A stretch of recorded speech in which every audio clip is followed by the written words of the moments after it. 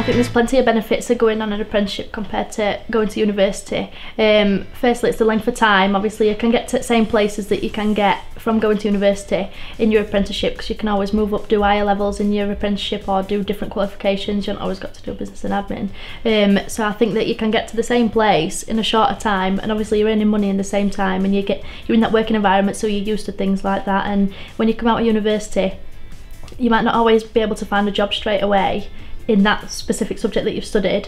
Um, so that's why I think an apprenticeship's good because obviously you get to choose and then you're in your working environment straight away.